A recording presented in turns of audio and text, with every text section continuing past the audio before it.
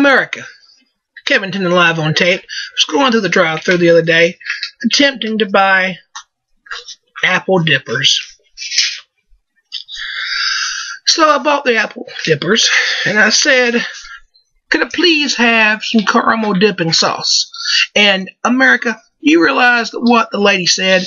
She said to me, "I'm sorry." We don't give out caramel dipping sauce anymore because that's too unhealthy.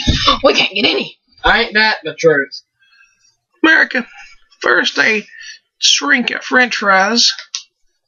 Now they won't let us have caramel sauce. Caramel sauce, french fries are not making the children fat.